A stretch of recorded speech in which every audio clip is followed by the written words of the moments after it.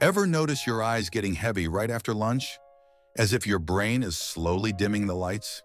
That's not laziness. It's biology. Your brain is quietly inviting you into a power reboot mode, also known as a nap. But the length of your nap determines everything. Energy boost, creativity surge, or total grogginess. 20 to 30 minute nap. You stay in light stage 2 sleep.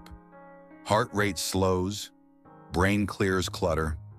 You wake up sharp, focused, and instantly refreshed. 30 to 60 minutes. You slip into deep, slow-wave sleep. Your brain is literally transferring memories into long-term storage. But waking up now feels like crawling out of wet cement. 60 to 90 minutes, you enter REM sleep, the dream zone. Your emotional brain lights up.